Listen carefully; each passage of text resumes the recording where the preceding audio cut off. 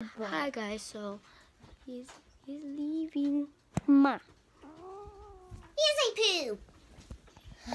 Izzy's over here.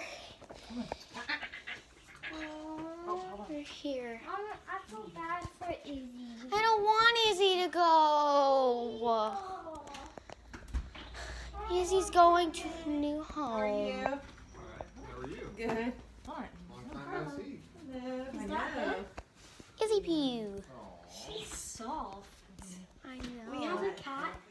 He is black and white. Uh-huh. He's only one and a half. Uh-huh. His name is She's a little shy at first. It's gonna take her a little bit. What's her name? Yes, Izzy. Izzy. Izzy. Oh. Here. I like to call it. Uh, Hi, Izzy. Hold on. That's a big Oh. Yeah, we got our, Uh, we got her from this other couple. There's two of them, but we told her only one. That's the brother. Aw. It's a little dude. But um, put food, some food in there. I didn't know if you wanted to stop doing food, but That's there's that too. We have had a cat. So They're both soft. and stuff. Mhm. Yeah, they're pretty big. So like the little small crates did not work.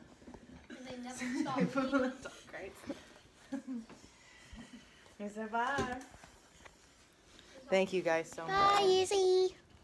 If he doesn't get along with the other animals and stuff like that, and we have to get rid of him, do you want us to get a hold of you Uh, guys let me know because I kn- yeah if you Yeah. can because I know somebody else. Okay, yeah, that's Yeah. you know that was one of the things. Yeah, I have somebody else. Um, she I actually lives in Pensacola, but I told her that um, Haley messaged me first. So, I don't see it being a problem. yeah. But if it is, just let me know and I'll message her. But I hope it works. Oh, you.